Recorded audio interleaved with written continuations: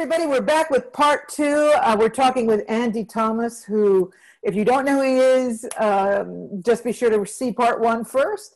And uh, if you don't want to go back to that, Andy is the director of the Glastonbury Symposium.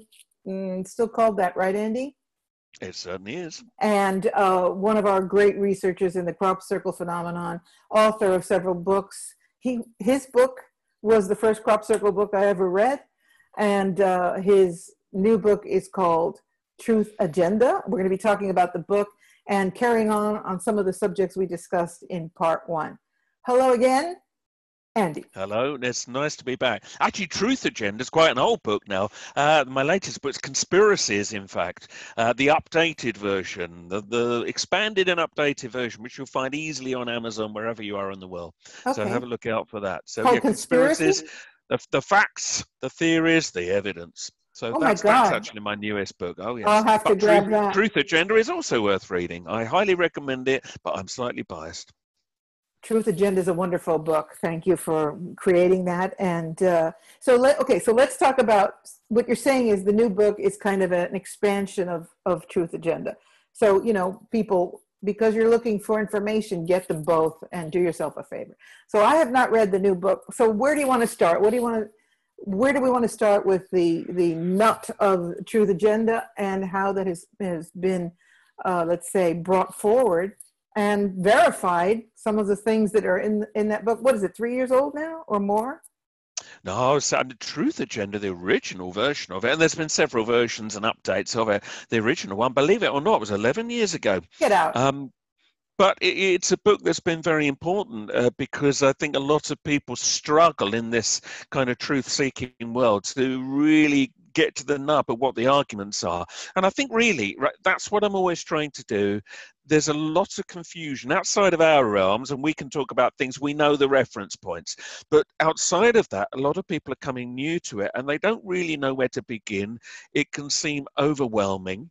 So, what I've always tried to do with both the Truth Agenda in all its versions and the Conspiracies book in both that uh, the versions of that is to try to show people what the arguments are, what the evidence for those arguments is, and why we should care and make it accessible because there's a lot of stuff out there that seems overwhelmingly dark or it's just too much information or you get you know some researchers they shake their fist at the you must believe me and it, it puts people off actually.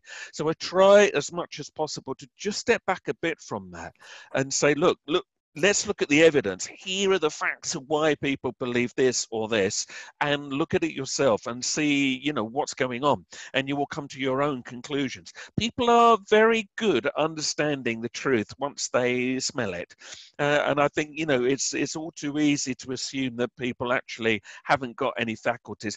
People, when you give them reasonable evidence, they can sort things out for themselves very often.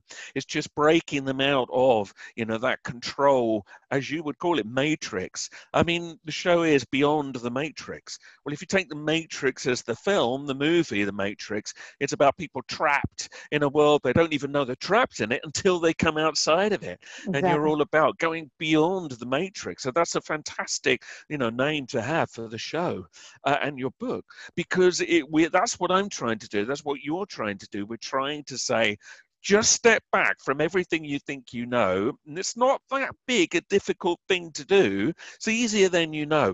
And you suddenly see the shape of what's going on around. And all you need to do is to give people enough examples and make it accessible and not shout too much at them and don't tell them to believe anything. Just say, I offer you this as a possibility. See what you think. And people are quite sensible.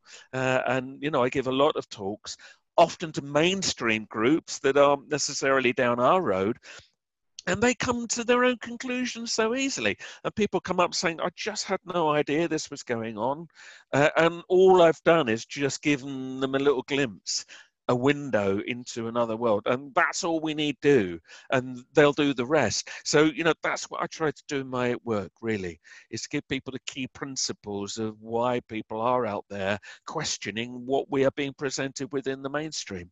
And there's a whole other world out there and when people recognize that you know they're often then drawn out of that matrix and you know they'll come to truth within themselves and that's the key thing you don't force it on them. You offer it, and they will find it. I find most of the time. Well, you do that so eloquently, I might add, that you know you're able to amalgamate conspiracy and spirituality and fact into this beautiful uh, presentation where you, I've as I said in the beginning, you let people reach their own conclusions. For example, the way you approach the crop circle phenomenon, and you know, I, I would just like to speak to also the fact that these so many people are awakening right now. I mean, in droves and we, I don't want, I hate to call myself an old timer, but yeah, I will. We old timers have been at this for how many years? I mean, I've been in this life of spiracy, uh, spirit, conspiracy, the exposure, truth seeking most of my life, but certainly in the last 30 years.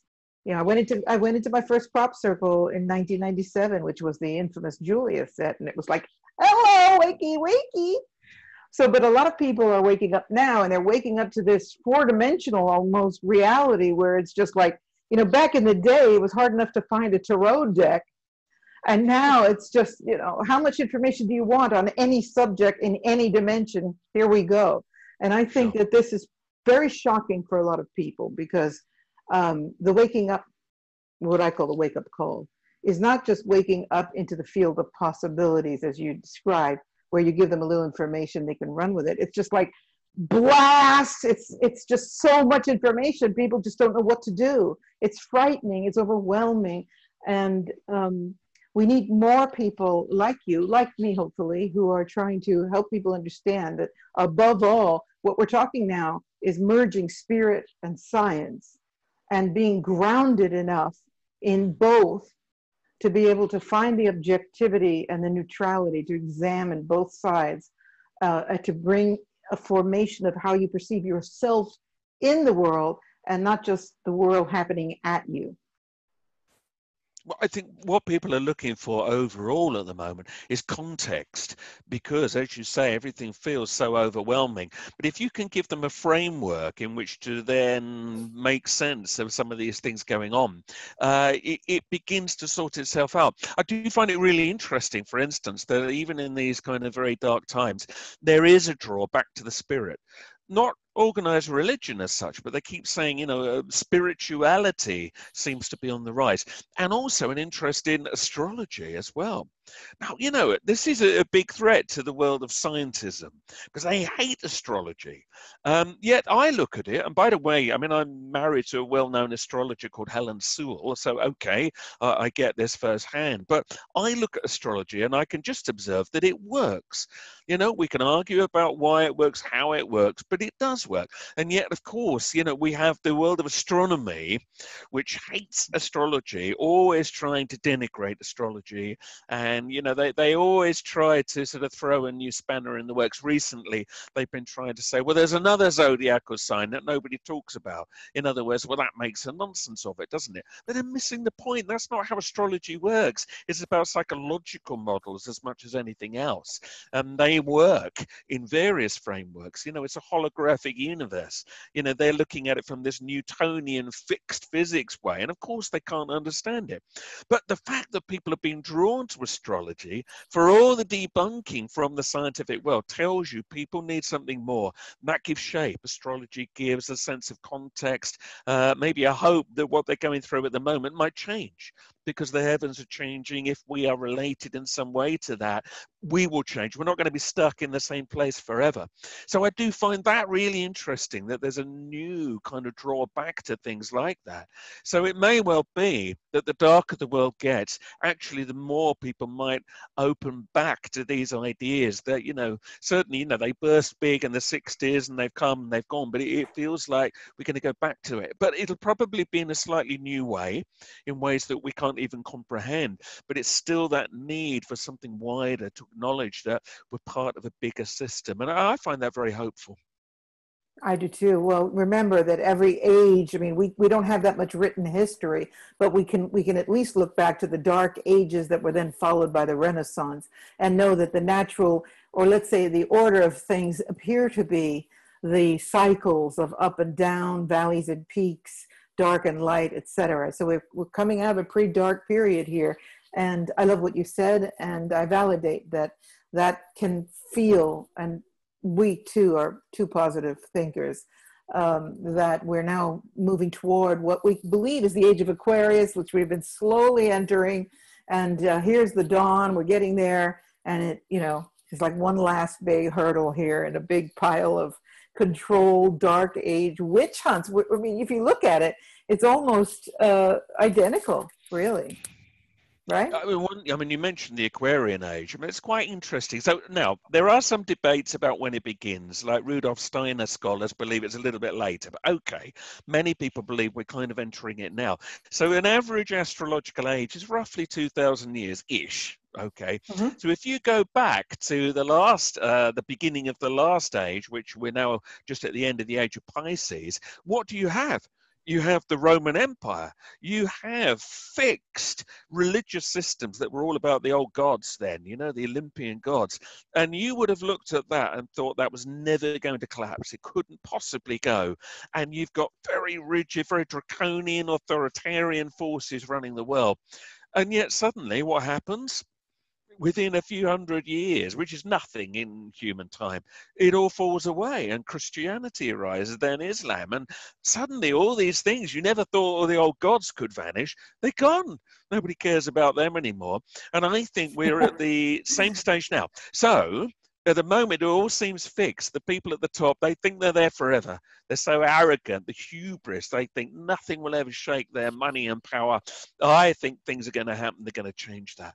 And also, the Aquarian age is going, going to be very much more about collectivism and equality. And yeah. that's at odds with the old way of thinking. And I think that's going to shake a lot of systems up. And in a way, I mean, we're seeing that in a way now with things like Black Lives Matters, Extinction Rebellion. We've got all these movements that are either environmental or it's about we think every everybody should be now, you know, caring more and be more equal. There should be more tolerance. And I know that, you know, some people worry that these are all manipulated plots in their own right. But I do think it's probably the beginning of a movement that's going to go that way anyway the and fact that they 500 years time you know we're, we're going to look back at these times and realize this is the crossover where the old forces are fighting desperately to stay there but they're not going to win in the end and we'll be into something new that will take care of itself in due course. I agree. I think that what you said about their fighting amongst each other is very true and there's a feeling i i perceive personally that it seems like they're just falling back and they just keep trying to get their forward momentum again and, and something's happening where they just keep the powers that be I'm talking about just keep slipping back. This didn't work. This didn't work. This didn't work. And so they, like you said, they pull out more draconian.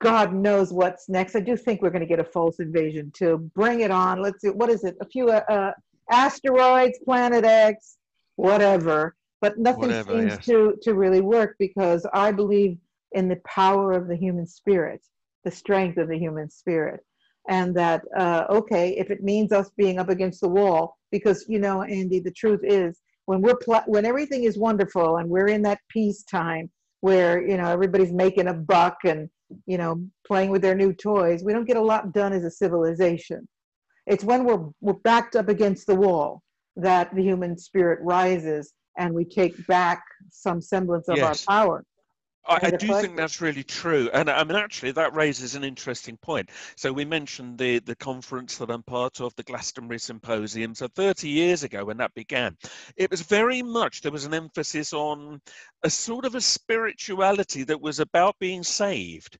Now, some people thought the crop circle makers would come down and save us all, or we would be ascended onto spaceships, or the ascended masters would come and do all the hard work for us. So you had that element. You also had this element of prophecy, and then the 2012 prophecies built up that there was going to be a big change, and some people were hoping for ascension. You know, we'd all go into the fifth dimension.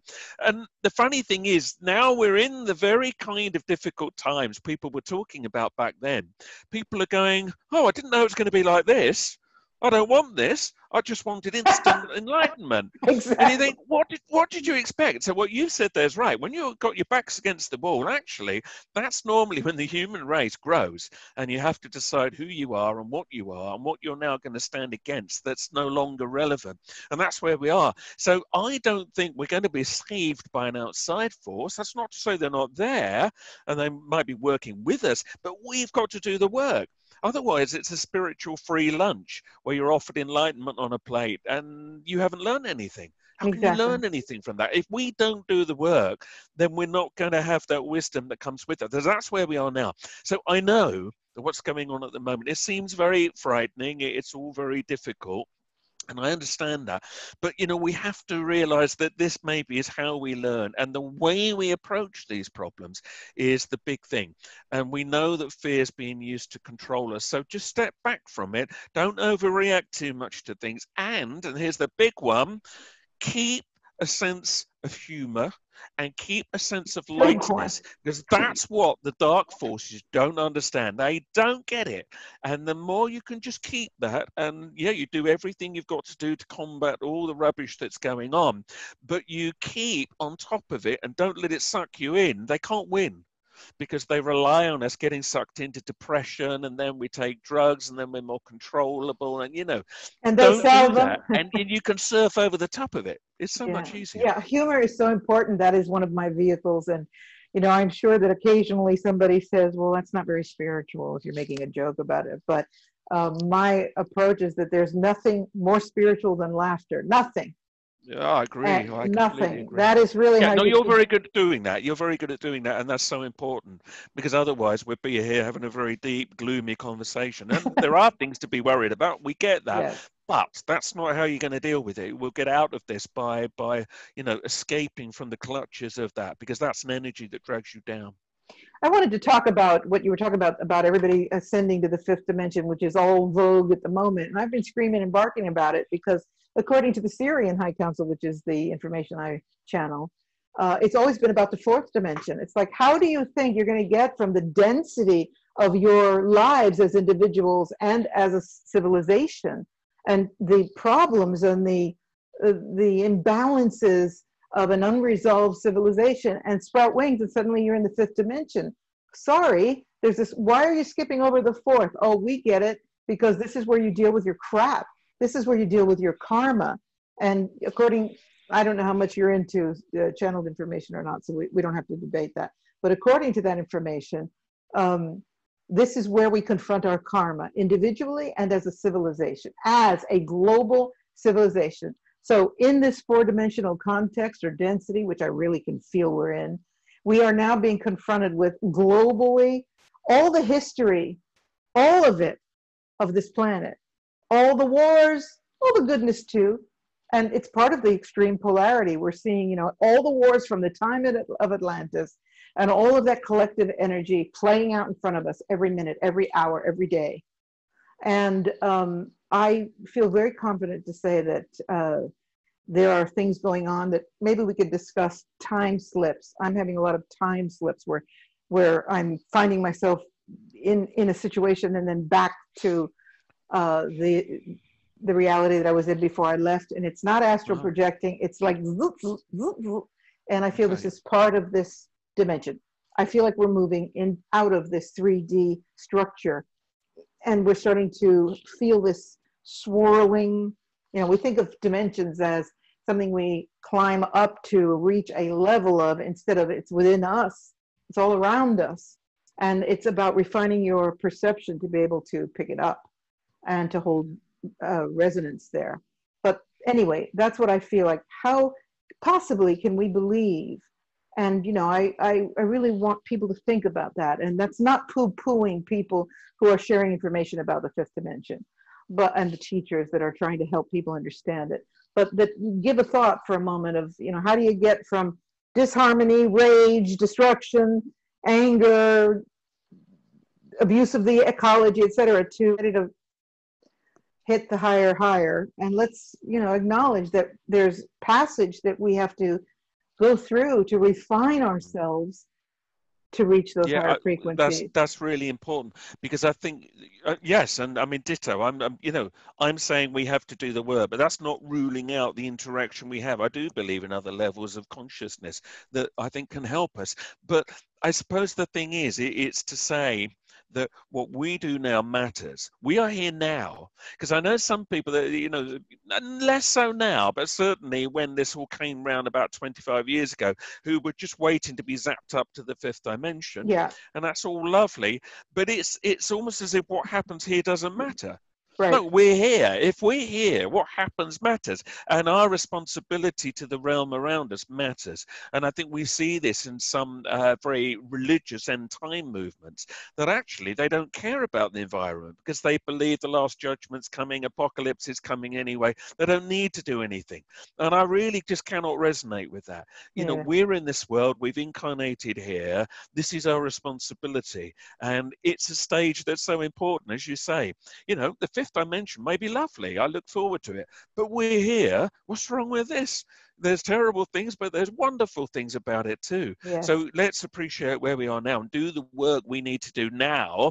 And, and we'll know when it's time to be on some other realm. You know, here we are faced with issues, and we have a responsibility, duty to this planet uh, and all the beings on it, not just us, um, to see that through. So, you know, I think it's important to remember that.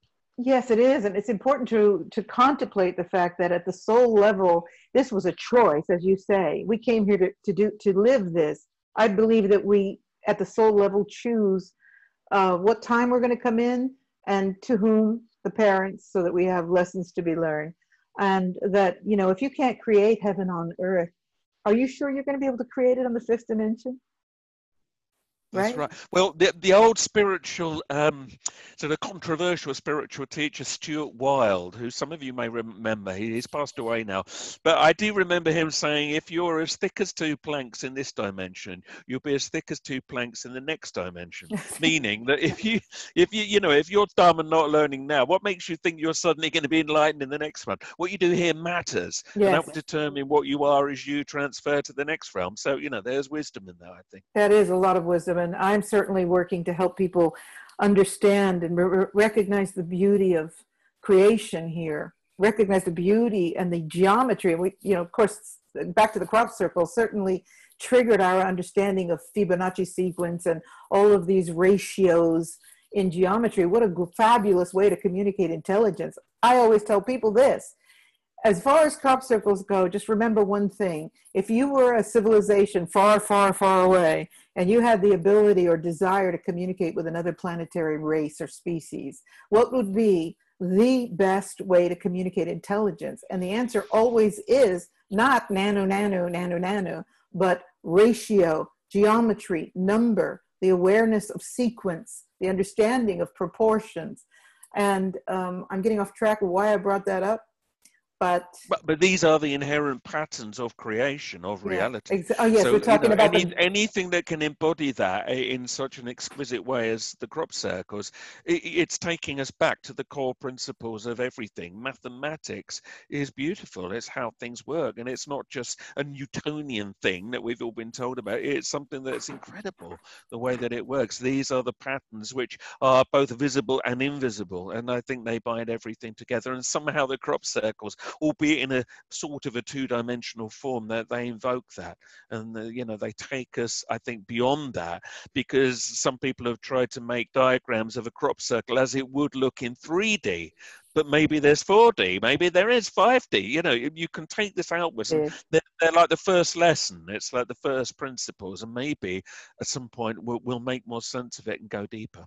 You know, I was in a grocery store in Rome. I'll never forget it. And I was looking at the Italian broccoli. Do you know the one that that have the Well, Uh, like the, with the, the, the spiral, the sort of fractal the spiral. on it. fractal spirals? And I was the Italians have a very sardonic humor. At least the Romans do. Like, check her out, kind of energy. So I'm sitting in the grocery store and I'm looking at this fractal perfection, and then I knew that in. I mean, it was just extraordinary. If anybody doesn't know what I'm talking about, we're talking about those. They're called Romanesco uh, broccolis with all these fractals in, inside them, and it's like if anybody were to ask me what is creator, what is creation, and yes, we do have the crop circles that depict some of that, but pick up a Romanesque uh, broccoli and look at those fractals, the perfection of ratio and then know that it's in every single aspect of nature everywhere just as it's in us at the cellular level, at the subatomic level. It's all formulaic, perfected ratio mathematics, and that kind of dynamic. Something beyond our perception had to have the formula. That's my perception of yeah. Creation. And um, if you so can't celebrate, broccoli, but to to be here and not celebrate that, to not seek it out, to not look at these beautiful things like flowers and trees and and to to seek out that wisdom and beauty is missing an extraordinary opportunity to develop yourselves on uh, uh, to, in preparation for whatever comes next right for sure. Yeah no i do agree. Yes here be here now as they say. Be here now. Fully here present. we are. Let's let's make the most of where we are and we'll get to where we get to but what we do now does matter and the way we handle it so. So much. Tell us a little bit more about your new book and um, what are the highlights? What are you trying to what is your most important message that you're trying to bring through in that material so, I mean, the Truth Agenda book, that was very much about, yes, it involved conspiracies. It was also about consciousness research, how everything mixed together with the paranormal. But the conspiracies book is very much focusing on, as you might imagine, that more sort of harder conspiracy edge, but not trying to do it in a way to frighten, to try to make sense of it, to make it more approachable as a subject. So we understand why people do doubt what they're told in the mainstream, and often they're right to, as we've already established. So the original version came out incredibly seven years ago, and of course, an awful lot's happened since then. So, all the classic areas that you would fully imagine to be in a book about uh, conspiracies are in there, from JFK to 9 11 to Princess Diana, everything you would imagine. But in the last few years, what's really kicked in is censorship, and we've already touched on this today. Um, censorship of the uh, online world, especially, is now rife, even before the pandemic came in. Uh, and it sense it, it, I sense a great fear coming from the powers that be there. The fact that they feel that they have to do this, and I really wanted to reflect that in the new version of the book and show where this censorship is occurring and how. And we've had, of course, people like Edward Snowden come forward and reveal yeah. that we're all under mass surveillance. Now, maybe we assumed that, but many people didn't realize that, and that was important and of course, lots of things have happened in the last seven years or so. And the big one, which absolutely needed to be uh, looked at, was Donald Trump who you mentioned earlier on. And, and now, look, I'm I'm very aware that you know many people who are interested in conspiracies like Donald Trump, and of course, Donald Trump's now very much associated with the conspiracy world because of, as you've mentioned already, the QAnon movement. So there's material about that. Again, not trying to even judge it, but to say, look, these are the issues. Here are why people are talking about these things. And there are threads, there are patterns here. And I mean, now we get a different view of Donald Trump in England. The English media are absolutely against him. You know, all the media is against him. All the media is against him, but certainly here. I mean, I don't want to speak for the whole world, but certainly here. But now, interestingly, and I'm not trying to defend Trump here, but so I was in uh, the States with my wife uh, the, the year that Trump got elected. And we were there about three or four months be- before the, the election campaigns really got going. And we were just talking to people and asking them, you know, do you think Donald Trump really stands a chance? And what really came over to us that we didn't pick up from the British media was that people felt he was more likely to speak for them everyday working class folk. And they didn't feel that that had been the case with Obama. They didn't feel that Hillary Clinton would do that. Now, I just thought that was an interesting insight because people are very quick to condemn Trump and his followers. But I think there was a hope that he would speak more for the everyday person. He would be anti establishment. Now, in some ways, he has been. Definitely. In some ways, he has been, and, I don't think we can take that away from him. Um, whether, when you've been in power for now nearly four years or whatever, you can truly be anti-establishment, I don't know. But certainly, he's been a disruptive force to the powers that be. And even if you don't like the decisions he's made, and some of them are highly questionable, I don't think we need to argue that. But not all. Some some people think they're marvelous. But what we can say is he, he is unpredictable. And I think that the people at the tops of the usual elites don't know how to handle him. Definitely. And they don't know because you never know what he's going to tweet out next. There's no control over it. Now, we've never known this before in a world leader. Now, that's dangerous on one level. Of course it Very. is. Bypassing all the usual filters. It's very dangerous. But at the same time, it's quite nice in a strange way to, for once, to know that the normal filters are not controlling what he's saying. As far as we can see, whatever he wakes up with in his head that morning, out he goes, and no one can stop it. And at least the way I see it is this you know what you're dealing with right? Any madness, well, it's there in front of you. You don't have to wonder what he's really thinking because he's just so blindingly obvious about it. Well, as far as we can see. Whereas, you know, I know some people did like Hillary Clinton, but oh God, I would have always felt it would have been very shadowy. I would never have known where I stood with her. Were you really seeing the real thing? You know, we don't want to go too far down that road. But so, okay, there are big issues around Trump, but I also recognize that there's something there but of course, he's got drawn into the conspiracy angle because the QAnon movement and for anybody that doesn't know, should you not know, you know, this is allegedly a deep state mole or a collection of deep state moles in America who are releasing information which says that the New World Order is about to basically take over the world, but Trump is standing against them. And so the New World Order is trying to undermine Trump. So essentially, the QAnon movement, it, it, it's pro Trump. And that's where the discomfort comes in for some. And of course, it's also associated with more right wing thinking. And the mainstream media always says, uh, certainly here, anybody that believes in a conspiracy is right wing or far right. Which, okay, yeah, there is a tendency for right wing thinkers to be more prone to that. That's true. But it doesn't therefore mean that if you believe in a conspiracy that you are far right. But that's the equation that they want to make because then they can, you know, again, take you off the internet as a, as a nasty influence. So it's all far more complex than that. And in the book, in the conspiracies book, I've tried to get to the nub of this, to get away from the usual polarization, which is what we're always encouraged to fall into, and really look at the issues around Trump. And of course, in terms terms of conspiracy, he's an interesting figure. He was one of the first people to go uh, public and say he thought bombs had brought down the twin towers. Now, you can you can find it on YouTube, I think, unless they've taken it down yeah. of him. This is only a few days. So obviously, a lot of people had hoped if he got into power, he might commission a new investigation. Now he didn't, and there have been some disappointments. And indeed, he's uh, appointed to power some people who were, you know, in the eyes of some, actually all part of the original 9/11 conspiracy. We won't rake through that today, but you know, many do not believe the official story is true. So you've got that strange angle. You know, he's also he's questioned vaccination, though he's pulled back from that now, and you get the feeling somebody really said, "Mr. President, you can't go down this road." Um, but nonetheless, you can see he's used to questioning the norm. And so a lot of people had hopes that he would be the voice now for conspiracy thinking. And he sort of is, and he sort of isn't. It's kind of gone a strange way. But then, of course, you've got the big conspiracy theory that all mainstream media believe, which is that he worked with the Russians. Well, that's and, so.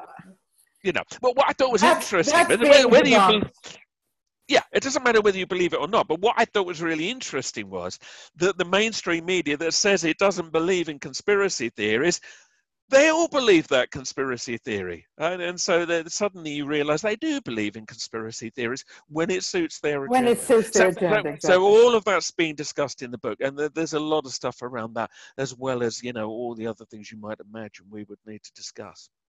I think that um, one of the things that people should consider is the fact that everybody that we understand to be the cabal, all these big power brokers, and I won't name the names because we do want to stay on the air, uh, hate his guts. So that was the first thing that I was paying attention to. It's like if they, all the people that I look at with psychic eyes, with intelligence, with discernment, uh, I think are on the dark side and they all hate his guts, then, you know, let me pay attention to this guy for a minute. And yes, he's a blunt force object. And that is very refreshing. And he says things, I feel the same way as you. There are moments when I, I'm just like, you didn't just say that, did you? And I ask myself, is it stupidity or is it intended manipulation? In other words, is he saying something to evoke a reaction? Or is it just because he's a blunt force object and he's always gotten away with saying what the hell he wants because he's a rich power broker? But one thing seems to be very clear to me: he is either a great actor, which I, I don't I don't think this choice is the one, or he really does believe that he's fighting the cabal. And so whether or not Anon is saying it, Trump keeps dropping these clues and uh, he, he, i feel he's trying to let us know i think he might just be an evangelist and seeing himself in the armageddon position of leading the war against the darkness. I'm not sure about that. But one thing I, I truly pick up from him is that i think he believes what he says and what he's doing I think that's probably true. I suppose the difficulty there, though, is that what he believes one day is not necessarily what he believes the next day. so yes, you've got you've got conviction, but there's a there's a discontinuity which could be troubling there. But yeah, I mean the QAnon movement. I mean they. I mean here's the only difficulty. Well, one of the difficulties is that if it's true and the QAnon people are actually coming up with real information. Some of the predictions they've made haven't happened. Back this May, for instance, it was widely said that you know all the world's communications would go down for a few days, and during that, these days of darkness, uh, that you know all the naughty people in the world would be rounded up and uh, arrested, and then the world would be good and happy. Well, that hasn't happened, and there's a number of other things that haven't yet happened. So you know the worry some people have is what if this whole thing is just somebody leading us all astray?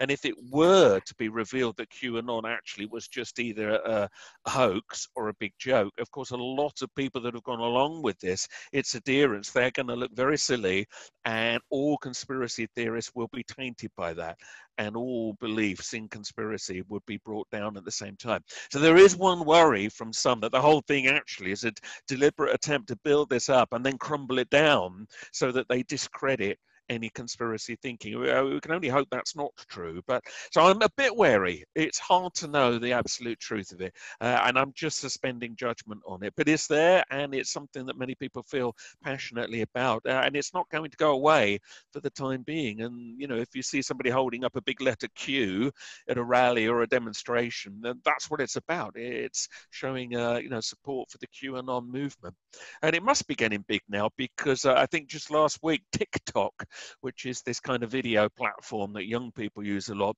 has had to take down thousands of, of pro QAnon videos. So, you know, it's now really getting out there. Uh, um, so, if this is a big hoax, it's working well because then everyone knows about it, then they can crumble it away. Or if it is real, well, then yeah, it's it's getting word out there. But we shall see. We shall see. But we do have Trump definitively going out. Uh, some of the the uh, premises of Q are underway. We do see the swamp clearing. I mean, we're not seeing massive arrests, but we do see more and more um, of the child trafficking scenario coming to light.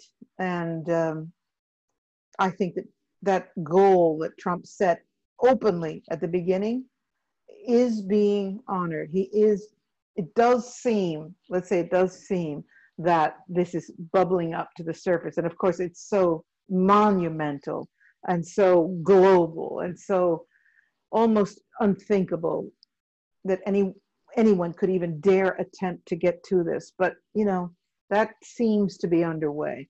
And as far as all the evil doers coming to light, there do seem to be some people in places like Hollywood that are apparently in difficulty. Their shows are being canceled. They look like they're under house arrest. Again, you're so right. It could be a big hoax, but uh, I don't think so. We will see how this plays out. We're certainly going to know a lot more at the election after the election happens. What do you think will be the outcome? I don't think you're the type to make a prediction, but just out of curiosity, let's see what, what we can get from you there. Well, I mean, only as an observation, as an English person, so I'm not directly connected to this, of course. Um, I certainly, I know that the media again is building it up to Trump's going to lose, he's finished. I, I don't think it's going to be that clear cut, and I think that a lot of people that because of the mainstream media sort of bias against him, they don't want to stand up and be counted when it comes to the vote. They may suddenly go back for Trump. So you've got this aspect to it. Um, I'm not sure that Joe Biden is a strong enough candidate. Uh, I think a lot of people worry that he's a little bit too old world, that he's just not radical enough, he's not new enough. So whether that's an issue, I don't know. But of course, then you've got the whole faction that believe that you can vote for who you want, the whole thing's rigged anyway. And there's a lot of concern about that, especially when electronic voting is being used. And they want to bring that in here too. And many people think you're just inviting fraud, electoral fraud. Well, the so truth who is, knows? that- Who knows? the truth is, the whole voting thing is so rigged anyway. I mean, people really believe that they have that this is an example of liberty. But when you look at how it's all set up between the art of the false voting, the media, and the campaigning, and all the way it's manipulated, you know, whatever. So, I mean, given that, you know, it may well be that the powers that be win win, you know, whichever way it goes. If they're going to manipulate it, they'll get what they want. But again, never think that they can't make mistakes. You know, they could one day expose themselves accidentally as the, you know, wicked people that many people believe they are. And we'll see it, and everybody will see that. So let's see you know. But uh, no, so I can't make a prediction. I don't think it's a given that Trump will lose, uh, but you Definitely can not. assume that the powers that be will be thinking who's most useful to us now. Uh, but obviously, look, we're at a difficult time in history. The, the situation with China is very volatile, and that's very worrying. Um, you know, some researchers, people like David Icke, has been saying for years that a war with China is what the New World Order wants. So, well, let's hope not. Uh, but yeah, it, it's it's not an easy time coming up, I think. And I think actually, I mean, astrologically, if you look at the next few months to the end of this year, it, it's certainly going to be volatile. The world is not going to be calming just yet, and I think we're going to see a lot more before the end of this year. What does Helen see? Is- Obviously, you're privy to a, a really powerful hmm. astrologer. Does she have some insights you want to share? She does. I mean, you would have to talk to Helen, which I would advise to get more on that. But, but in essence, yeah, I think particularly uh, next month and then October, there's some rocky times coming up. I can't give you the detail. Although the good news is the winter solstice seems to suggest a kind of a moving into slightly a new era. So let's hope so. Uh, but um, yeah, I mean, you know, she certainly has got a lot of insights. Uh, if anybody wants to have a look, by the way, look her up astrologicalinsights.co.uk. She's a well known. Yeah, well, when we, when we finish, please send me uh, some of this information. I'll put it up under the video so people can Oh, refer. And, you know, have her, ask her if she'd like to do a show with me. I'd love to pick her brain Sure. and share with her. I can Right, so- ask. Okay, um, we're kind of winding down now. I mean, can't believe it. We've been together so long. But um, is there anything you really want to leave the audience with besides your extraordinary, hopeful sense of where we're going? Not besides it, but definitely any Yeah. particular piece of information that you think is vital now before we sign out. I think the thing right now is to not get overwhelmed by, you know, all the confusion of which there is much uh, and all the darkness. And I think that the, the way out of it is to be informed. Uh, and that's what I'm trying to do is just spread information where people can at least be informed, even if you can't work out exactly what's going on. I think you feel better when you know, okay, there's this element to it here, there's that there. You see the shape of it you have a, a sense of a framework of what's happening. Uh, I think that's useful. So do, do don't just have an opinion based on nothing or just on the last thing you heard on social media. It might not be right.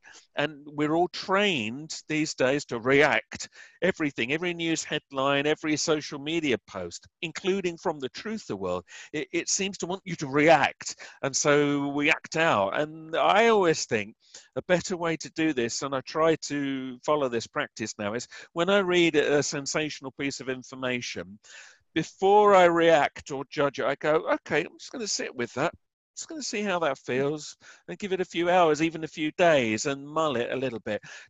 Don't just bang straight down with your opinion in response. Mm, you know, maybe you might find some new information coming through soon that, that might balance that out. So I think, you know, remember this. I think we are manipulated by being sort of uh, told to overreact. So I think don't react in quite that way because then we won't fall into polarization. Bear in mind, polarization has been encouraged. It's classic divide and rule, whether it's Democrat versus Republican, Leave versus Remain, REU debate here, black versus white, all of these, it's almost like polarization is continually cranked up.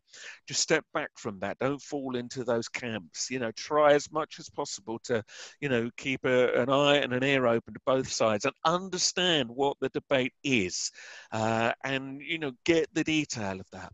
And in terms of the pandemic, yeah, if you're really curious to know more about you know what the issues really are in an unbiased way i mean do look at my website uh, and just you'll find it. It's in the main articles there. My article about the pandemic uh, is up there, and, and it's just helpful just to see what the elements that are being argued over are. And then you know you'll at least get a better idea. And there's other articles by other people out there which do that same thing. You know, uh, so have a look. Truthagenda.org, and you can find out all about my work there, and lots of videos to watch me giving talks, all kinds of articles. So have a look. But you know, there's other people out there doing great work, and, and I include you in this, Patricia, just trying to get conversations going. And in an age where clearly people are trying to shut down these conversations, it becomes ever more important to keep them going. So spread the information, spread the links, you know, keep talking to people, even if they make fun of you, even if you think that they're not going to listen, just keep going. Not in a way that forces it on anybody, but offer your truth and show them that there are wider debates out there to be had. And then I think you're doing real service to the human race and everything else on this planet because, as I think we've established today, we're all interconnected at the end of the day.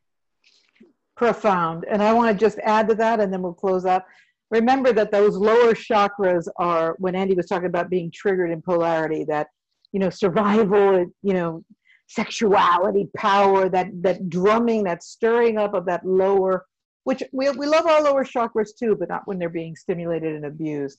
So just remember that when you are confronted with people who are in that fear and hatred and and whatever, just keep bringing it up to the heart and just tell, keep reminding them, look, I'm speaking to you from the heart I'm speaking to you from the heart. At least try to hear me. Don't shut me down. At least try to hear me. And, you know, if you get a bunch of profanity, just click the button that says, you know, goodbye and stop beating yourself up trying to persuade or win over people who are, are completely closed because you're just wasting your energy on it. And maybe someday they'll come back and maybe they'll be able to have a conversation. In the meantime, this has been an extraordinary. Con- you never let me down, Andy. You're the man. Thank you so much. It's been a real pleasure. Thank you. We'll have to do more of this, okay? So you guys, you now know Andy Thomas. If you haven't already met him, because a lot of you are in America and overseas in other locations, one of our leading researchers, one of our most important voices for alternative truth. And truth is what we're trying to get to here. So thanks a million. We will post all of the links for Andy and uh, hopefully have him back soon on Beyond the Matrix. Thanks, Andy. Take care. I hope I see you soon. I hope so. Bye, everybody.